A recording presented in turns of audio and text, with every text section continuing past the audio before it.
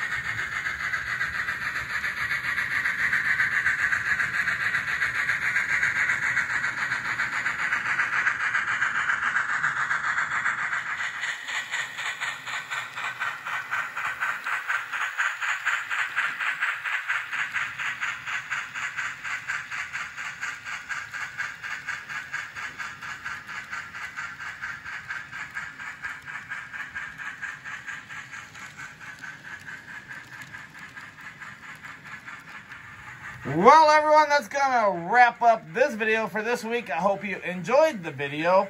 Please leave me a comment. Tell me what you think. And don't forget to hit that subscribe button. And don't forget that icon bell because I'm going to be doing a series, Blast from the Past. I'm going to be running some older era locomotives. So, thanks for watching. I hope you have an amazing week.